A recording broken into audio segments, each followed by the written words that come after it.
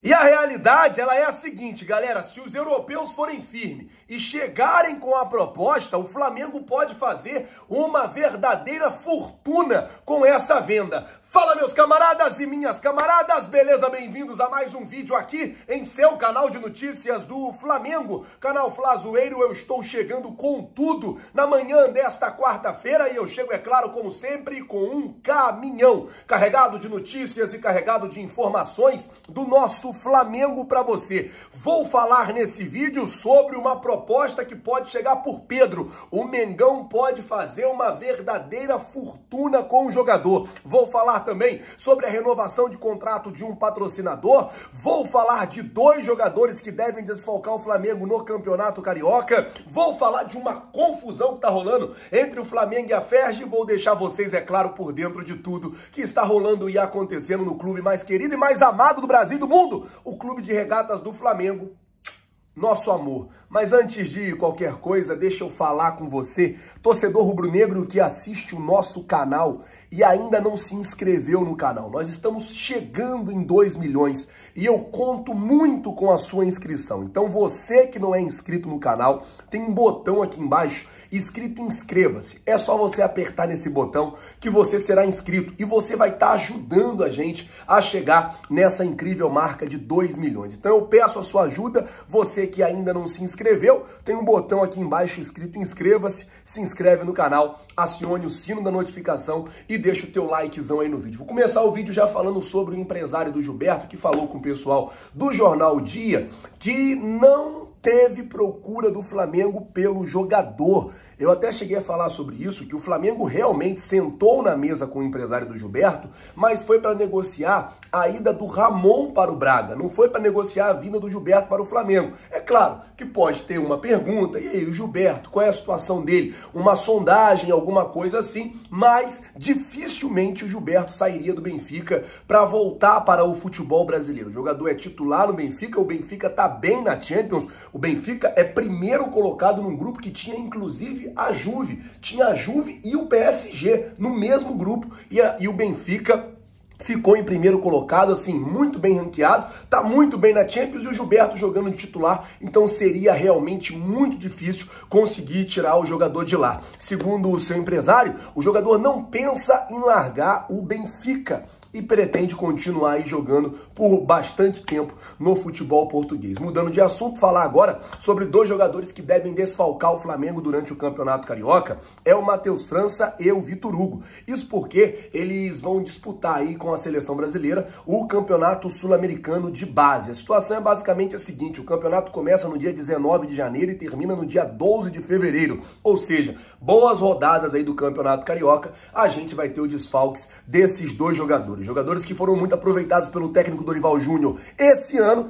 devem já no começo do ano, já começar o ano desfalcando o Mengão. Mudando de assunto, falando ainda sobre Ferge, falando ainda sobre Campeonato Carioca, porque tá rolando uma verdadeira confusão entre Flamengo e a Ferge. Por quê? A Ferge tá impondo aí algumas, algumas mudanças no Campeonato Carioca que são muito ruins para o Flamengo. Lembrando que o Flamengo foi o clube que mais colocou dinheiro nos cofres da Ferge no ano passado. O Flamengo só de bilheteria colocou 1 milhão, 7, 1 milhão 177 mil nos cofres da FERJ na Copa do Brasil. No Campeonato Brasileiro, 2 milhões 292 mil. Ou seja, o Flamengo é meio que o trem pagador do Campeonato Carioca, do Campeonato Brasileiro e não tá tendo muita voz ativa na FERJ. Os caras estão aí fazendo algum jogo duro, questão de de, de, de, de, venda, do, do, da, do, questão das vendas do direito de, de transmissão, questão do, da questão do digital, enfim, tá rolando assim uma confusão e o Flamengo está chateado com isso o Flamengo está é, se sentindo incomodado, principalmente com a forma que vem sendo tratado, né? Essa questão, porque o Flamengo tem a opinião, tem, tem, tem coisas que o Flamengo e o Fluminense são contra, tem coisas que o Flamengo e o Fluminense vão contra, mas a FED tá meio que, entre aspas, batendo o pé. Mudando de assunto, deixa eu falar agora sobre a situação de Pedro, que desperta interesse dos ingleses, falar de renovação de contrato de um patrocinador, mas antes, deixa eu te lembrar, você está esquecendo de dar o like, né? Eu começo o vídeo aqui, ó, notícia, notícia, notícia, vocês esquecem de dar o like. Gente, aperta aí o botão do like para poder ajudar o nosso canal. Se você ainda não deu like, aperta o like. Se você não se inscreveu, tem um botão escrito inscreva-se. Clica nesse botão. Vamos chegar a 2 milhões. Você não paga nada, é de graça. Clica aí e ajuda a gente. Bom, falar de Pedro agora. O negócio é o seguinte, a situação do Pedro, ela é a seguinte. O Lens da Inglaterra estaria interessados, eles estariam né, interessados na contratação do Pedro. O negócio é basicamente o que? Vou explicar para vocês como é que gira essa negociação. O Pedro, isso é um fato, decisão tomada da diretoria, não sai do Flamengo por menos de 150 milhões. Por que, Flazoeiro, que você fala isso? O Palmeiras chegou a oferecer 120 milhões no Pedro e o Flamengo não liberou.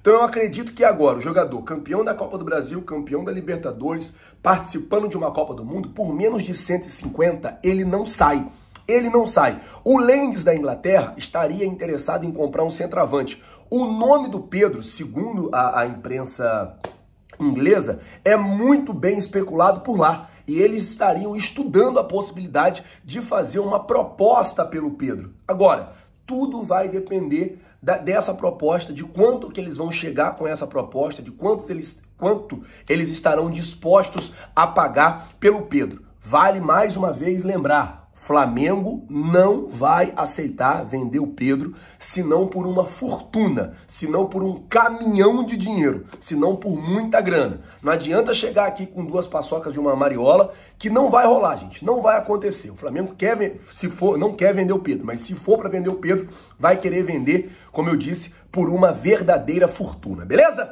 Mudando de assunto agora, vamos falar sobre a situação do Mercado Livre que vai renovar o contrato com o Flamengo. Informação também publicada pelo Jornal Dia. O negócio é o seguinte: é, o Mercado Livre já está com conversas adiantadas com o Flamengo para poder renovar o contrato. Vale lembrar que o Mercado Livre paga 12 milhões né, de reais para estampar nas costas do Flamengo e de dois não, 18. E esse valor deve aumentar. Eles estampam ali nas costas acima do número e esse valor ele deve aumentar agora que o Flamengo vai renovar o contrato e a ideia da renovação é por mais dois anos. E por isso eu coloquei excelente negócio. Por quê?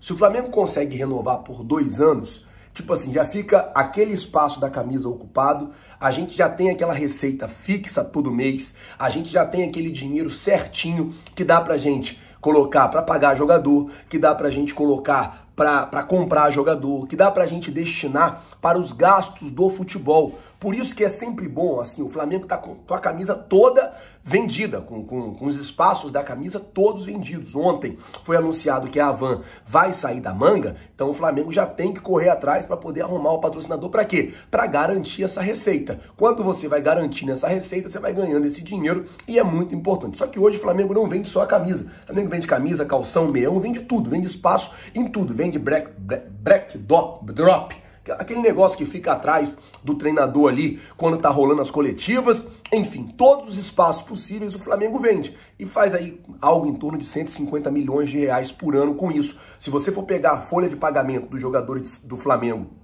mais o que arrecada só de patrocínio, quase paga. Então o Flamengo é, acaba que tem que mexer muito pouco na renda da bilheteria, na renda do sócio torcedor, nas outras rendas para poder pagar o salário dos jogadores. É claro que o futebol tem outros gastos, tem um gasto com ninho, tem um gasto com logística, tem outros gastos. Mas o Flamengo ele consegue aí. É por isso que o Flamengo está, na verdade, há mais de 10 anos sem atrasar salário, porque é um time organizado. Vamos ver como é que vai ficar essa situação. Mercado Livre aí renovando por mais dois anos. E para terminar o vídeo aqui, tem muita gente me perguntando sobre o contrato do técnico Dorival Júnior. Gente, o Flamengo já tem conversas avançadas com o treinador para renovar o contrato. E ele tá só resolvendo algumas questões de cláusula. E não tem nada a ver com aquela cláusula que libera o Dorival para treinar a seleção. Ele não pediu essa cláusula no contrato, gente. Não tem isso no contrato do Dorival. Já falamos aqui, já repeti, tô repetindo de novo.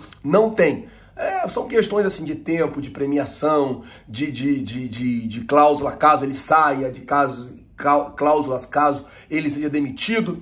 Todas essas cláusulas, mas não tem essa cláusula de ah, se, eu, se a seleção me chamar, a liberação é, é de graça, é automática. Não tem isso, só para explicar a vocês, beleza? Bom, galera, eu vou ficando por aqui. Se você não é inscrito no canal, Tem um botão aqui embaixo escrito inscreva-se, se inscreve no canal, acione o sino da notificação, deixa o teu like, é muito importante para o nosso trabalho, é muito importante para o nosso crescimento. Muito obrigado por tudo. Valeu, rapaziada. Tamo junto. Vocês já sabem. É nós. Valeu, galera. Muito obrigado por tudo.